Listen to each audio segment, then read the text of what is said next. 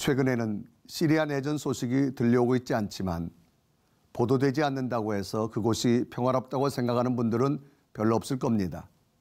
끊임없이 난민들은 발생하고 있는데요. 그 와중에 요르단의 난민교회는 큰 은혜를 체험하고 있다고 합니다. 요르단 정형남 선교사님 전화 연결해서 그거 소식 들어보겠습니다. 자, 선교사님, 요르단 내 난민교회 상황이 어떻습니까?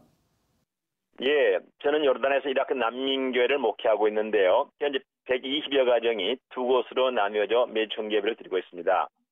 어, 이라크인들이 대부분이지만 절대 다수지만 그중에 한 명이 시리아 출신입니다. 그는 어, 고향이 이라크 국경지대이고 혈통적으로는 이라크인들과 더불어서 같은 아수르인들입니다. 한때 저희 교회에 시리아 난민들이 있었지만 지금은 오다 이라크 교인들만 남아 있습니다. 그렇군요. 최근에도 꾸준히 교회 등록을 하는 이라크 난민들이 많다고요? 예. 최근에 한, 한 두 달 사이에 저희들이 신방 쭉 했는데요. 약 35가정이 세 가정으로 등록이 됐습니다. 아, 그들 중에 일부는 어, 이라크에서 최근에 들어온 가정이 어제 예배 때도 어, 세 가정이 들어왔는데 지난주에 입국했더라고요. 그리고 어, 저희 35가정 말씀드렸는데 그 중에 또 일부는 이미 이 땅에 온 지 1년 또는 2년 지난 그런 교우들도 있습니다. 네, 지금도 여전히 난민들이 발생하고 있는데 다각적인 지원도 계속 필요할 것 같습니다. 어떻습니까? 예, 이곳 난민들은 UNHCR, 즉 유엔 난민기구 사무실로부터 난민증을 받아서 요르단에 합법적으로 체류하고 있습니다. 그들이 구라파로 어, 이민 갈 때까지 매년 갱신이 됩니다. 난민증이요. 그러나 그들의 노동은 불법입니다. 어, 체류만 허가해지 어, 노동한 건 불법이기 때문에 어, 만일 하다가 발각됐던 큰 벌금을 부여받게 됩니다. 어, 그러다 보니 열악한 환경에서 불법으로 노동하는 경우가 많습니다.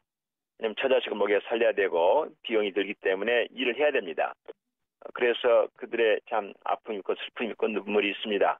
그래서 저희가 작은 선물이지만 유료의 선물이지만 가끔 외부 지원을 받아서 음식 패키지를 들고 가정강정을 방문할 때 그들은 큰 힘을 얻는 것 같습니다. 특별히 이라크에서는 천주교나 정교회 출신들로 평생 무슬림들과는 나름대로 구별되게 살아왔다 하지만은 정작 우리가 볼 때 예수님과 복음을 잘 모르는 분들이 많고 아니 대부분이고 그래서 저희 교회와 함께 새롭게 복음을 들어야 할 자들입니다.